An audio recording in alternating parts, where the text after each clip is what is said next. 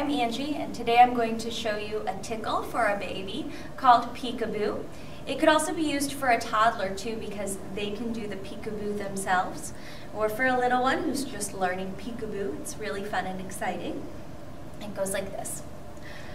Peekaboo, peekaboo, I see you, I see you.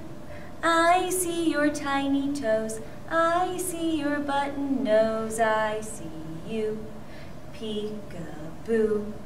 If you wanted, you could also have the baby do the peekaboo part, or if they don't know how yet, you could also do the peekaboo for the baby, or you could just peekaboo for them. Thanks.